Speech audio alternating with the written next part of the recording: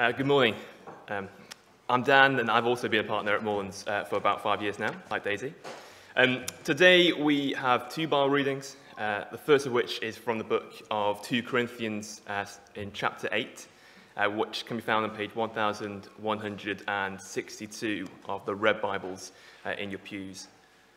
So just give you a moment to turn to that if you haven't already.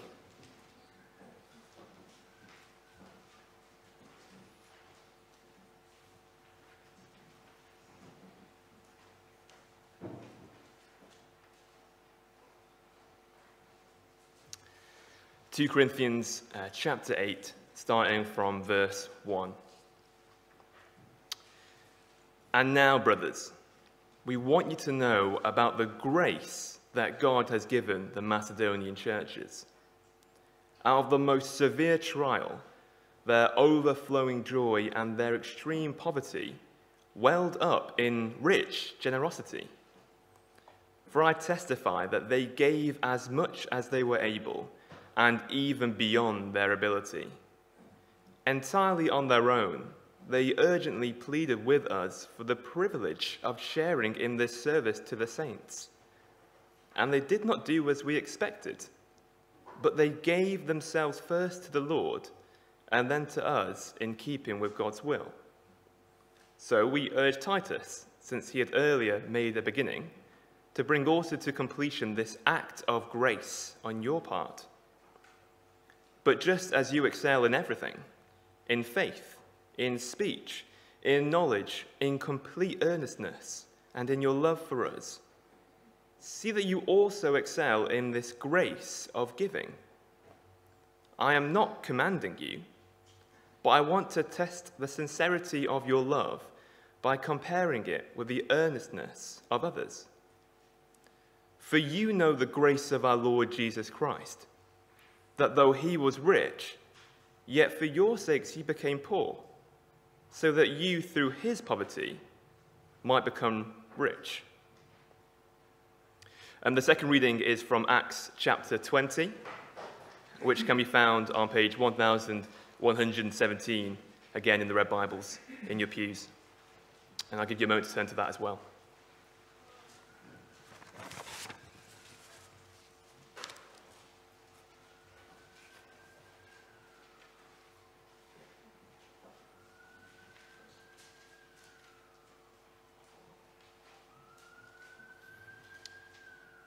It's Acts chapter 20, and we're going to be starting from verse 32.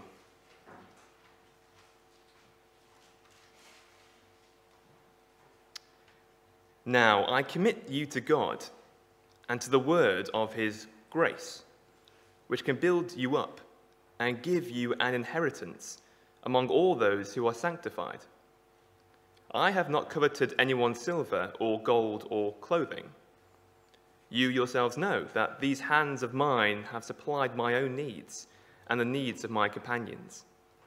In everything I did, I showed you that by this kind of hard work, we must help the weak, remembering the words the Lord Jesus himself said It is more blessed to give than to receive.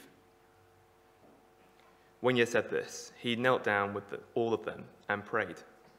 They all wept as they embraced him and kissed him. What grieved them most was his statement that they would never see his face again. Then they accompanied him to the ship.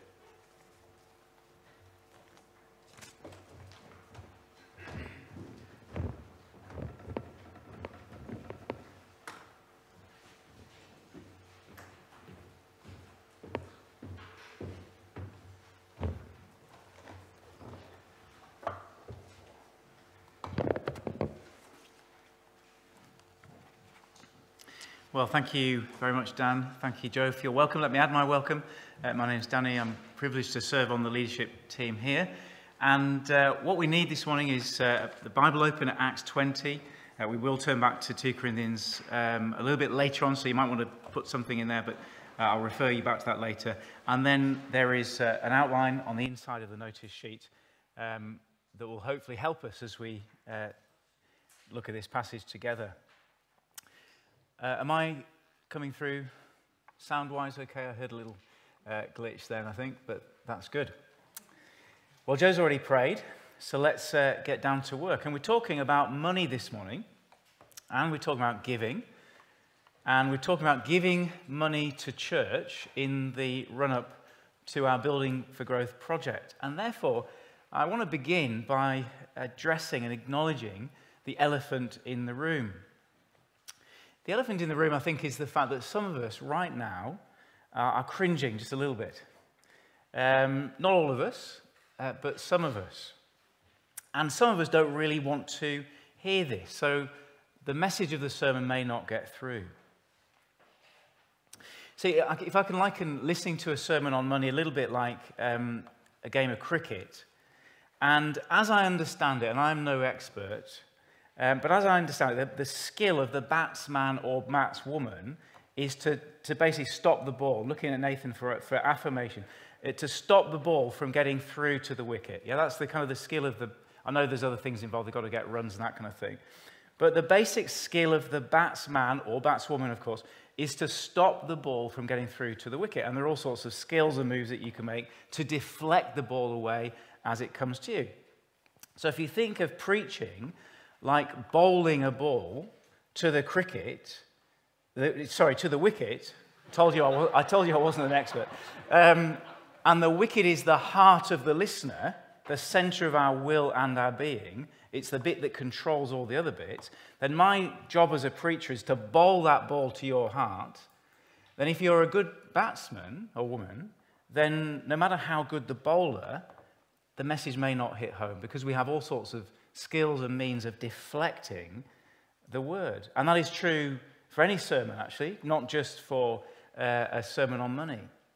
But it is particularly true for a sermon on money and giving in the Bible. We are able, we are skilled, we are able to put up all sorts of defenses and barriers and reactions and objections to stop the message getting through to our hearts and so changing us.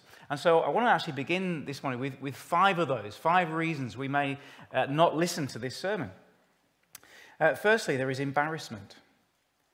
And that is the most basic reaction at all, especially for some reason for British people. We just don't like talking about money in public. We think it's our private business.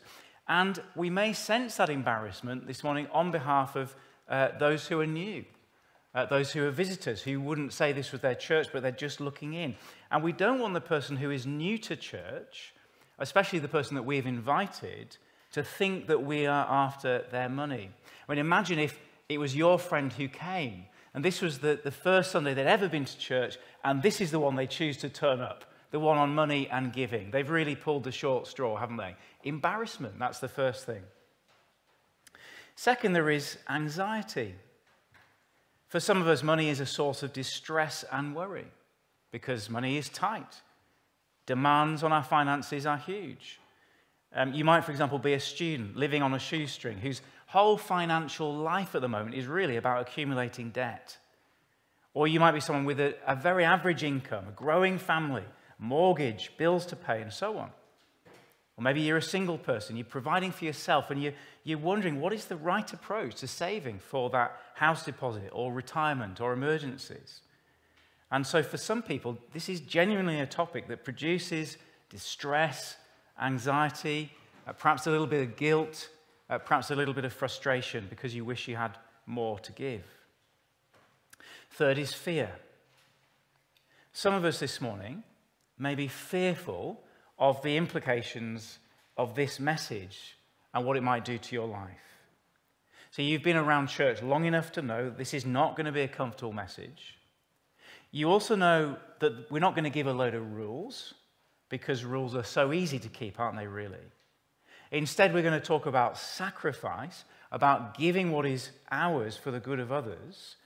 And you already know, and Joe's already kind of set this up, that we're going to be drawing a line from the person and work of Jesus Christ directly to our wallets and our bank accounts, and we're not going to set any boundaries. And so some of us are fearful of what this might do if we take this message seriously, if we take it on board, if we actually start giving seriously if we're not already, or even more sacrificially if we are. What will this do to my hopes and dreams, my security? Fear. Fourth, there may be some who feel a little resentment bubbling up inside. You realize that the reason we are talking about this this morning is because we need to find and raise a million pounds for our building project. Maybe you feel that this whole thing is a bit of a distraction, that it's been going on far too long, that the money would be better spent on something else. And maybe you were here in the last round and you gave up to the hilt then, and you're resentful that you are being asked again. Finally, you may simply think this message is not for you. Uh, perhaps you're too young to have an income other than a bit of pocket money and whatever the tooth fairy sees fit to leave under your pillow. And therefore, you are already thinking you might tune out of this one because this is not something for you to worry about. This is for the adults to worry about. Or perhaps you are new this morning. You are one of the people who has been invited to church and you're new to this. And if that's you, I want to say, we don't want your money at all, but I do want your attention this morning. I'm really glad you're here, and I want you to keep listening. And the reason for that is the same reason that I want everybody to put aside those barriers and let the word get through and not deflect the message. And the reason is this that money is a spiritual issue. See, how we use our money actually reveals the very deepest things we care about. And perhaps more than any other subject you can think of, perhaps surprisingly, money will take us, or how we handle money, will, will take us right to the heart of the Christian life. It'll actually take us right to the heart of God's character, as we'll see. And this is why we need to listen. And this is why Jesus spoke so often about money. I said in the, uh, the video that some of us have watched uh, in, in groups during the week that Jesus spoke so often about money that roughly half of his parables were on the topic of money. Roughly one in every three verses in the Gospel of Luke was on the topic of money. So if Jesus was the pastor of this church, it would be at, least one every three weeks we'd be having a sermon on money, as far as I can see. And that is because money is a spiritual issue and getting money right is so dangerous for us. And getting it, sorry, getting money wrong is so dangerous, and getting it right is so good for us. And the way we're going to see this is by meditating on this short sentence in Acts 20 35. Normally, Joe said, we, we work through big passages of the Bible in their context. But this morning, a little bit different. We're just going to meditate together. We're going to sort of chew over this short sentence of Jesus. And that's because I think this sentence of Jesus is a doorway into everything he, he had to say on the subject. So Acts 20 35 is our text. It is more blessed to give than to receive. And I've just got three points, and just so we can pace ourselves, the first is long, second is medium, third is short. Three points. And then, by the way, as a bonus, a bonus application right at the end, I'm going to tell you exactly how much you should give to the Building for Growth project. First point Christian giving will bring you joy. Christian giving will bring you joy. This statement comes at the end of Luke's report on Paul's mission to the city of Ephesus, a Greek city which would be found in modern day Turkey. Paul has been working in Ephesus for around two and a half years. And before heading off to Jerusalem, he takes a moment to revisit the church and say farewell to the leaders of the Ephesian church, who he knows, as you'll see from that reading, he will never see again. And so it's an emotional farewell. And in the context of that farewell, he gives them some departing words of advice. And notice that the very last thing he says are these words, which are a quotation from an otherwise unknown saying of Jesus it is more blessed to give than to receive. Now, I think that context tells us three things. Firstly, it tells us that Paul saw this as a matter of huge importance. Huge importance, because these are his final departing words as an apostle to these church leaders. If you work your way back through the speech, you'll see he said some very serious things, some solemn things warnings and encouragements about their leadership of the church, which verse 28 he says is the church that God has brought with his own blood. What an astonishing phrase that is. And now, right at the end, he brings them this final word, and it's as if he kind of he saves the best till last. This is the thing he's going to say, the last thing that's going to be ringing in their ears that he wants them never to forget. So that's the first thing that we learn from the context. It's very important. The second thing we see from the context is that Paul wants them to understand that while this includes money, it's more than money.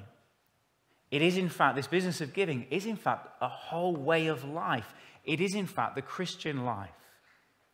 So notice in verse 34 and 35 that Paul is referring back to his own time working among them and the way he did it.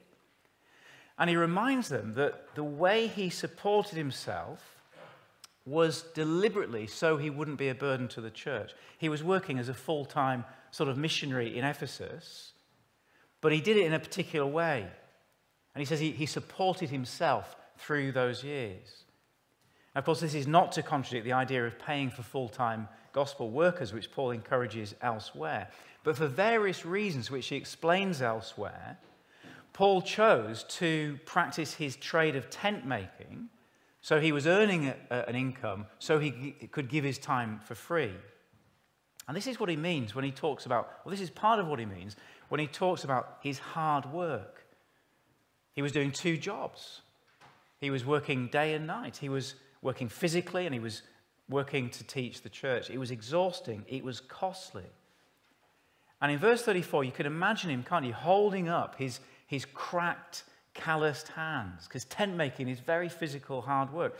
And he reminds them that these hands of mine have supplied his own needs. He's pointing to his sacrifice in time in energy, his effort, his thinking, his sleep, the standard of living he could have otherwise enjoyed, his comfort, his safety, his health, and his money. And he says, This is the life that I showed you so that other people can hear the gospel. And this is the life that he wants them to copy because this is how Jesus himself lived, giving up himself for the good of others. That is the Christian life. The third thing we see from this context is that Jesus' words here are revolutionary. They defy normal logic, they turn the world upside down. So we're in Ephesus, part of the Greco Roman world. And if you know anything about that world, you know it's, it's all about getting. The culture was deeply committed to getting. And it came out, for example, in this idea of reciprocity the idea that if I do something for you, you do something for me. I'll have you over for dinner, but I'll expect to be invited back to yours. I'll lend you my yoke of oxen, but I'll expect a share of the harvest. I'll put a good word into you for your employer, but I'll make sure that you return the favor at some point. And we're familiar with this, aren't we? I'll do this act of service, but it's going to be recorded on my personal statement. I'm going to serve in this way, but I want it to count for D there is that culture, isn't there, here as well? Well, that is the culture in Ephesus. And furthermore, if you read the account of Paul's time in Ephesus, you'll see that it's a place that really loved money, prosperity, wealth. It was famous not for its tent makers, but for its silversmiths who made these little knickknacks for the local goddess Artemis. And the basic philosophy of life was if you had health and wealth and prosperity, that was a sign that you were being blessed by the gods.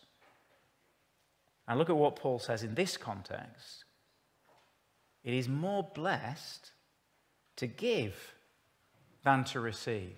Can you see how this is not just a little piece of kind of nice advice? It is a revolutionary phrase which is actually designed to turn a whole culture, a whole way of thinking on its head. And so, if you're a Christian this morning, can I just ask you, do you believe that? It is more blessed to give than to receive. Is that, is that part of your thinking? The word blessed is one of those hard words to pin down, isn't it? But it essentially means favored, privileged, happy, lucky. To be blessed is to have the gods or God smile upon you. to be truly content, to be living the good life. So Jesus is saying that if you see somebody who is by nature a giver rather than a getter, you're seeing a truly happy person, someone who is to be envied. Now, just as a bit of research, I, I, I used Instagram uh, and I typed in hashtag blessed life. Now, I know none of you are going to be very surprised. I should have, I should have known what to expect. But you can imagine the, the images that came back a honeymoon couple lounging back on a sunbed by a glistening pool with a big cocktail in each hand. Hashtag blessed life. Someone swimming in an impossibly blue sea. Now, this is not Lake Windermere, this is palm fringe beach, white sandy bay, some tropical island. Hashtag blessed life. A young guy standing proudly in front of his McLaren 720S. It's a car. In case you know, you should look at Instagram, but no, you shouldn't do that. Um, hashtag bless life.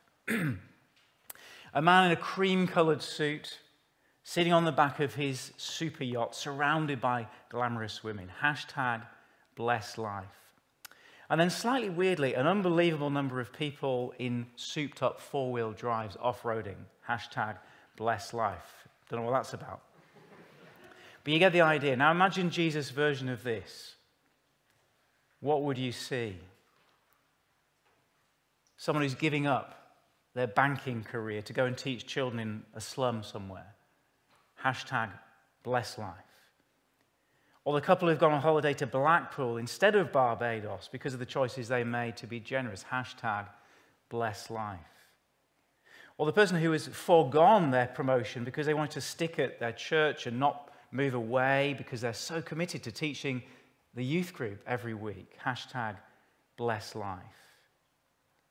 Or an ordinary family plodding on in an ordinary house in an ordinary street in Lancaster, making daily decisions to be faithful and generous with their home and their resources. Hashtag bless life. You see, Jesus' teaching is revolutionary because blessing, receiving things, is a blessing. As we saw in Acts 17, God is the giver of all good things. And so honeymoons on tropical islands are good. Holidays in Barbados are good. McLaren 720s are good. But giving is better. Giving is better. So it's not that it's not blessed to receive, but Jesus is saying actually it's more blessed to give. So that when you see someone giving away their wealth, giving away their security, their comfort, their life, their status, you don't feel sorry for them. You look at them and feel envious. They are living the good life. They are blessed. Now, I wonder if you can associate with, can you, can you feel this emotionally? Can you associate this emotionally? See, we can, I think, understand it theoretically, but do you know this emotionally? See, when you give, does part of you just wish you didn't have to? So that your giving sort of feels a little bit like an unoiled bicycle chain. It's kind of hard, it's grating. So I think if you're a Christian giver, I know this is true in our church, you will know something of the joy and privilege of sharing in the work of God, the inner peace of doing the right thing, of being obedient to God, the pleasure of meeting someone's need, the joy on the face of the person you're giving to. You'll know the inner thrill of expressing God's love uh, to others. And someone said to me this week, it would be great, won't it, to, to walk into this church building when the building project is finished and to, to know that I made a contribution to that. That I didn't just leave it to others, I was part of it. What a privilege that, that will be. And so I think we know some of this, but we mustn't leave it there. So let me ask you this. You know, when you've uh, ordered something for yourself, you know, it's not an everyday thing. It's something you've saved up for. Perhaps you've saved your birthday money, your Christmas money. You've done the, the which research. You've ordered the thing. And you, you know it's not going to change your life. You know that nothing really can do that. But, but it's going to fill a little hole. A laptop, game console, the new phone, food mixer, dishwasher, TV, car, bike, camera, garden furniture, watch, dress, shoes. Have I covered pretty much everybody? and uh, the email comes, because we don't use shops anymore. So the email comes and we've got your order. And then you may, maybe get another 10 emails from PayPal saying, you know, we are going to take the money. And then the email comes saying, it's been dispatched. And then on the day, you get the little text saying, Your driver, Andy, it's always Andy on our street, your driver, Andy, is going to deliver your package today between this time and this time. And you think, Oh, please, please don't put it in the recycling box. That would be terrible. Let me be in.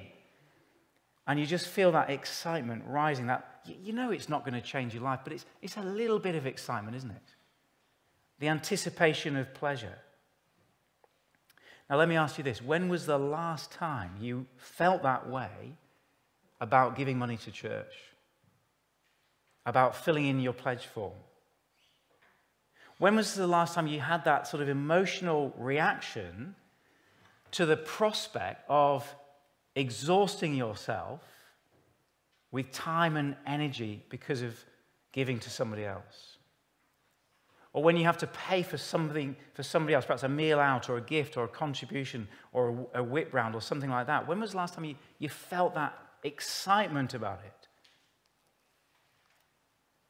Or when you're being asked to go the extra mile to help somebody at great inconvenience to you, do you feel blessed by it? Now, I've talked about the emotion of it, but let me just talk about why this matters. Why does it matter that we are givers? Particularly when it comes to money. It matters because money is a trap that can take us all the way to hell. Money is a trap that can take us all the way to hell. And I think actually the whole Bible story makes this clear. Really, the whole Bible is a story about giving. So when God created man, he made us in his image because God is himself a giver. Even before he created man, God was a giver in the, Trinit- in the Trinitarian relationships between Son, Father, and Holy Spirit. It's a relationship of giving. And so when he created man, he created us in his image with a godlike capacity to give and to receive in the relationships that he'd built into creation. That is why, incidentally, that we are male and female. Because there is an asymmetrical relationship of giving and taking that we can enjoy uh, inside marriage, outside marriage, in church, in the world. Because God has built into his creation this capacity to give and receive. So we are made to be givers. God is a loving giver, and he has made us to be loving givers, givers of ourselves, givers to God and to others. But by the third chapter of the Bible, all of that has come undone. When the first man and woman saw the fruit of the tree God had forbidden them to eat, the one thing he had not given them, they took it from themselves, grasped at being God. Even though they had everything they wanted in God's paradise, they became, deep in their hearts, takers and so the most natural thing in the world is to say it's better to give than to receive.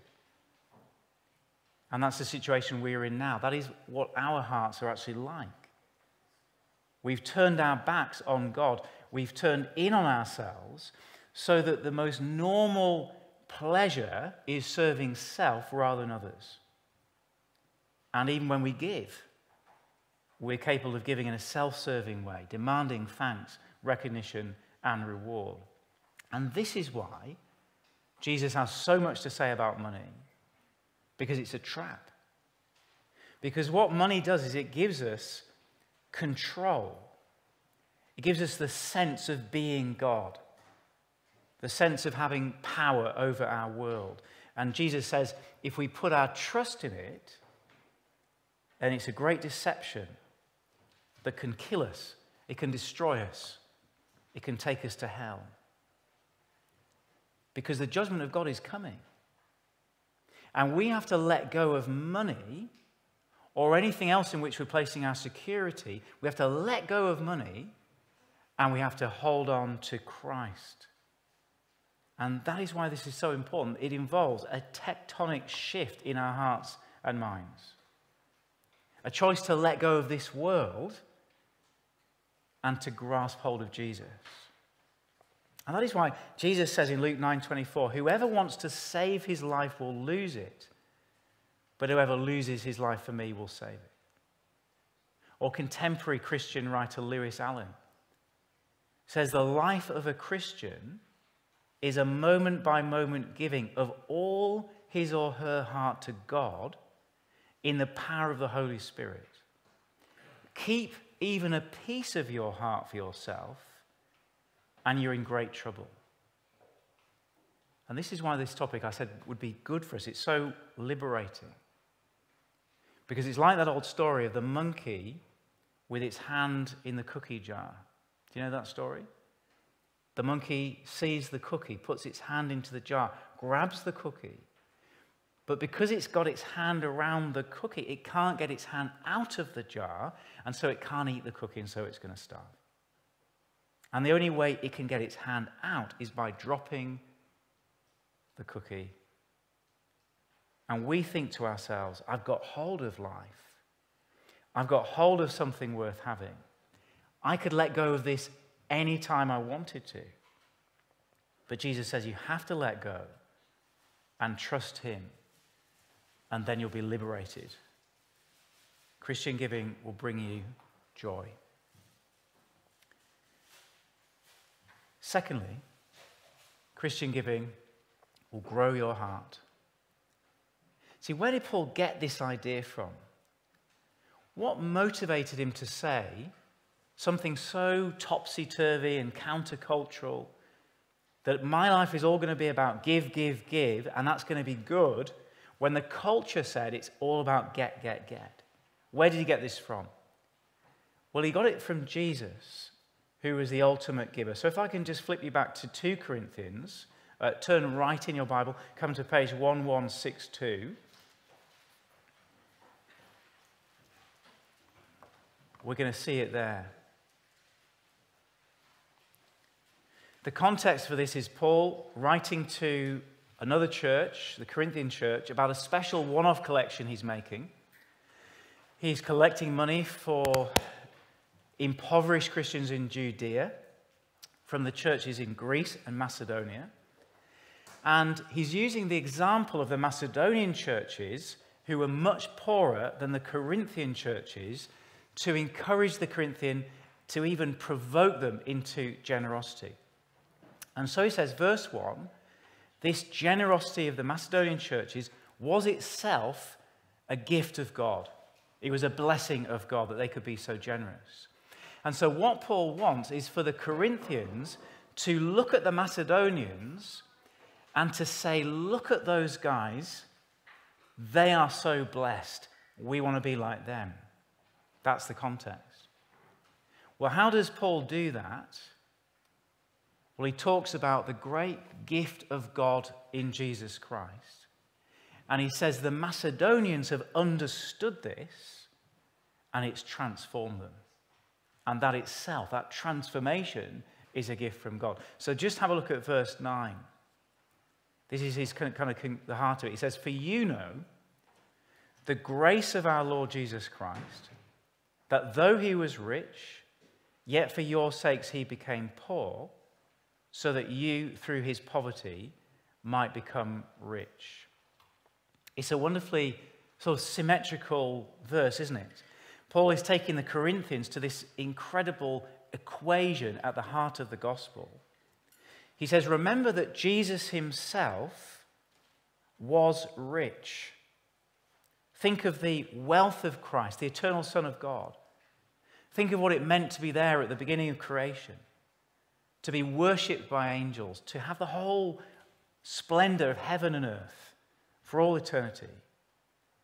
And he says, remember, Jesus gave that up when he came into the world. He went from ultimate riches to ultimate poverty. Because you cannot get poorer than a naked man dying on a Roman cross with nails driven through your wrists. And he says that's what Jesus did, that's what Jesus gave for their spiritual good, for their forgiveness, their reconciliation, their eternal life. So that you, through his poverty, might become rich. So Jesus comes down, becomes poor, gives up his wealth, so that they, in contrast, can become as rich as Jesus. Because they were alienated from God in spiritual poverty, hopeless in selfishness and corruption, no way of buying themselves out of that situation. And Paul says Jesus swapped his riches for their rags. He lifted them from the gutter to glory, became poor in death to make all who trust in him unbelievably rich in eternal life. And so Paul is saying to go from being a getter to being a giver simply shows that you are someone who knows God's heart. And it's impossible to imagine someone grasping this gospel of grace, coming into contact with this God, and not becoming a giver yourself, isn't it? So if you are listening as somebody who is not yet a convinced follower of Jesus, if you're new to this and you're looking in, then this is why I'm so glad you're here. Because this tells us, doesn't it, that God is a giver. And he wants to give to you. He wants to give you eternal life. And I hope you begin to see that when we as Christians talk about giving, it is never a means of receiving God's grace or approval, but it's always a response to it. We have been made rich beyond our wildest imaginations. And all we do now in the Christian life is a response to it. We know his love for us so we can love others. We receive his forgiveness so we can forgive others. We experience his generosity so we can be generous to others. It's very basic and fundamental. That's how it works. And what this means then is that as we grow in giving, with Christ as the model, we are actually growing in our grasp of the grace of God we actually come to know God better, grasp the central truth of the universe, that at the heart of all things, God is a giver. We are learning God as we give.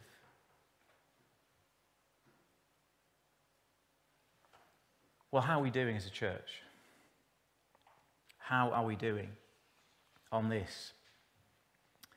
Well, talking to people through the week, also, praying through the prayer directory, just seeing everybody's faces, you can't talk to everybody in the space of a week.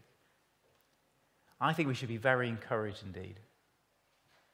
There are so many examples, as I think we've said a couple of times recently, of people giving themselves to others.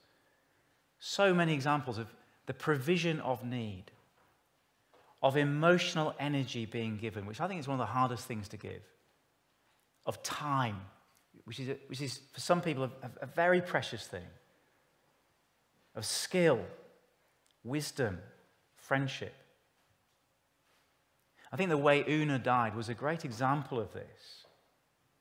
And those of us who've been watching on, we've sort of seen, you know, lots and lots of examples of care and attention. You know, Christian brothers and sisters meeting her every personal need right up to the last minute staying up all night to read the Bible with her. And the way Henry and the girls have been cared for, provided for. There's just one powerful example in the life of our church recently. And, uh, and you can multiply that. And then you think about our finances. Over half a million pounds raised for Building for Growth. The general fund meets budget year after year. Our treasurer, Andy, is sitting there, and every year he'll come to the elders and say, Look, Sometimes it's a challenge, sometimes it's an encouragement, but every year we're okay, aren't we? Every year the budget is met, every year ministry is provided for. And think about that generosity that Joe was talking about that has provided for the student ministry, 100 people in this church now, including children who have come out of that ministry, and multiple times that, multiple times that around the world. We had a gift this week from a student a financial gift in, in an envelope from America, and, I, uh, and we mentioned it on the staff team, and only half of us even remembered who she was because she was here a short time and then gone. but she's grateful for the generosity of this church family that we didn't put our own needs first, but we thought about the needs of others. That's what student ministry takes.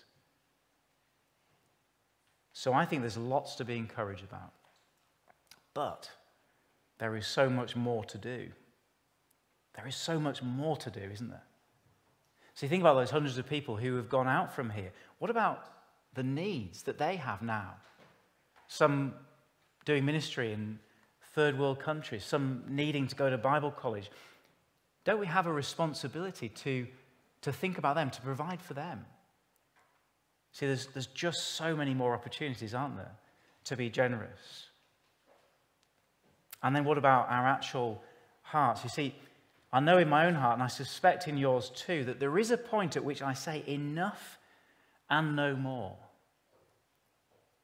And our culture agrees.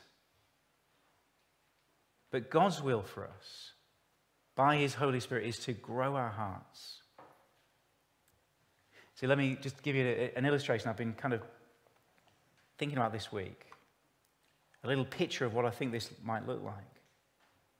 When we go on holiday and we go to the same place every year, the same beach, and what we do, as soon as we get to the beach, we go to our spot on the beach. And it's, it's just underneath these cliffs. There's a little kind of mark in the cliff. We know exactly where we sit. And uh, woe betide anybody who gets there first.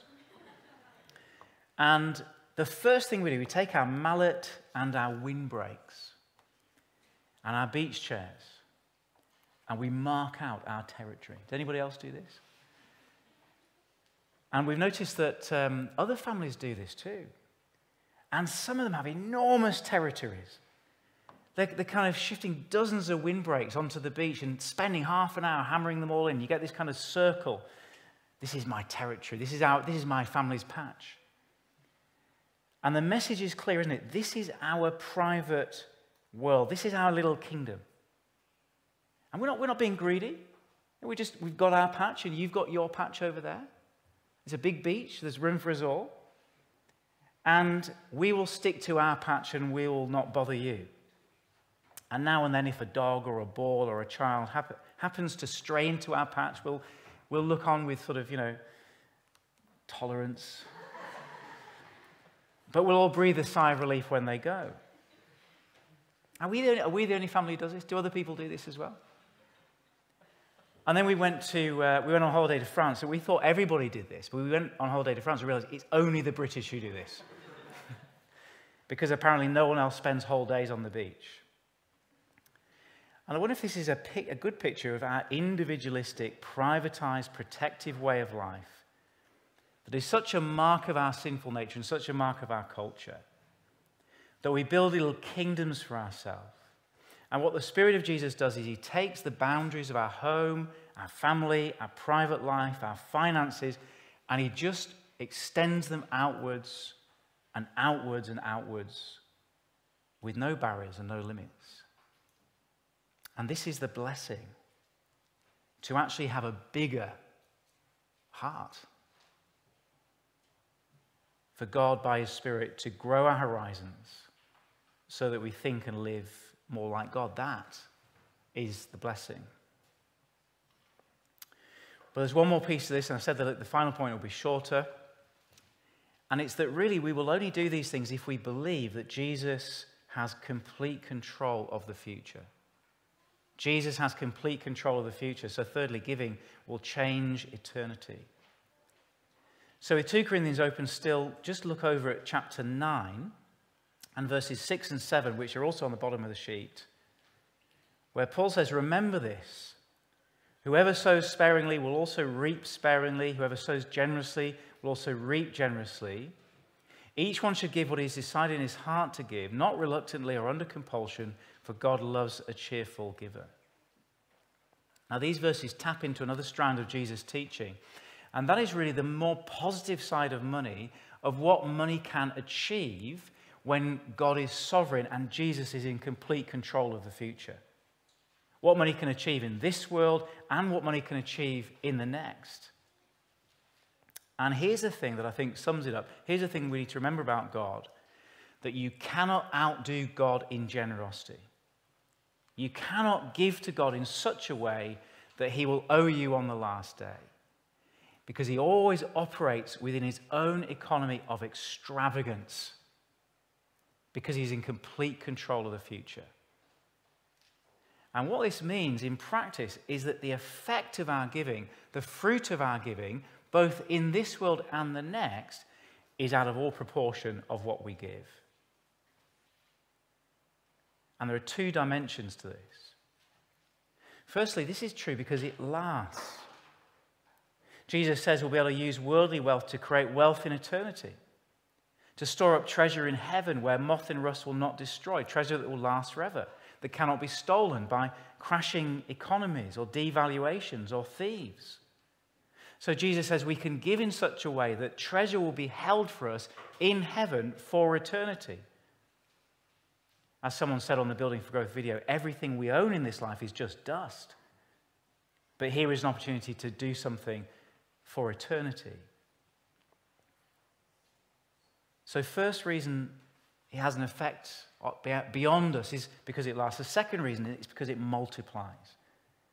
And verse 6 captures this with this beautiful image from agriculture or horticulture. I want you to imagine the excitement of a farmer. Perhaps if you imagine, you know, a little house in the prairie kind of territory, this land has never been sown before.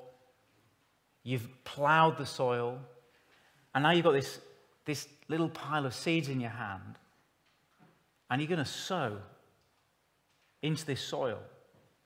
And it's going to do something. It's going to produce something. It's going to do something wildly extravagant, exponentially brilliant, because it's going to multiply. And that's the thing about seeds in the Bible. It's always about multiplication, sowing now for a harvest in the future. And I know I've used this illustration somewhere before, but it's, it's a little bit like a, it's a reverse reward card. Because the nectar card, I've currently got about three pounds on my nectar card. The nectar card, you have to spend and spend and spend and spend, and you get a tiny little bit back. I mean, it's better than nothing. I'm not complaining, but you've, you've just got to spend hundreds and hundreds and hundreds of pounds to get a tiny bit back. With God, it's the absolute reverse. We give him what is already his. He works a miracle through time and space to multiply it to a hundred thousand times, so that on the last day, our gift will have grown and multiplied and will echo in eternity. And Jesus will have been glorified. And people will have been bow, bow the knee to him. And all the glory will go to him. Brilliant. When you give, think of that little seed. Well, let's conclude. And I want to conclude just very briefly by going back over some of those reasons not to listen. First, if you're new, as I said before, I'm, I'm really glad you're here. Because this topic, perhaps surprisingly, takes us to the heart of the Christian life. And what I'd love you to take away is the news that God is a giver. You've been to church, you've heard a talk on money and giving for a building project, and no one wants your money. Rather, God is a giver to you. He's given the most precious thing, the life of His Son, to bring us the greatest riches of forgiveness and eternal life, and He is ready to hand that gift to you. He wants you to be rich beyond your wildest dreams. And then if you're too young to worry about this, if you're sort of thinking, well, this is for the adults, I don't need to worry about this, then let me have a word to you. That we've seen actually that, that giving is much more than money. God doesn't want your money. Actually, what He wants is your entire life. That's what He wants from you this way. He wants your entire life. Don't worry about the money, leave that to your parents. But what he wants actually is something much bigger. He wants your entire life. So it might seem a long way off, might it? But time is very short. Actually, we've been reminded this morning that life is very short.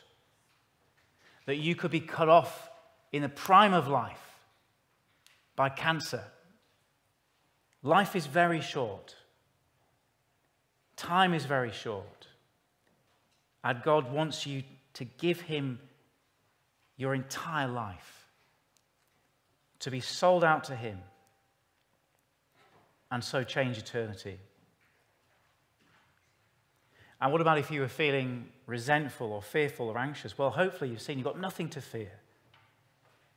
Nothing to fear at all. God is not demanding anything that we cannot do. He's not demanding anything that is unfair or impossible. All he wants is your life, which is already his. So you must have no fear of this subject, no fear of missing out. We will never put God in his debt. He will, 2 Corinthians 9, verse 10, enlarge the harvest of your righteousness. You'll be made rich in every way, so you can be generous on every occasion. And through us, your generosity will result in thanksgiving to God. And finally, I said there's going to be a bonus application. How much should I give to the building fund? Well, I'm going to tell you. Give exactly what your heart says is good to give, not a penny more and not a penny less. Give what your heart says is good to give. 2 Corinthians 9, verse 7. No one is making you give any more than you want to give. No one is watching what you give. You have total freedom. No one's going to judge you. No one's going to look at your life and say, Why haven't they given more? Give only what God has put on your heart to give. But be open to the blessing of growing your heart and extending your horizons. Grasp the opportunity to be more like God because Jesus says it is more blessed to give than to receive. Well, let's have a moment of quiet and then I'll lead us in prayer.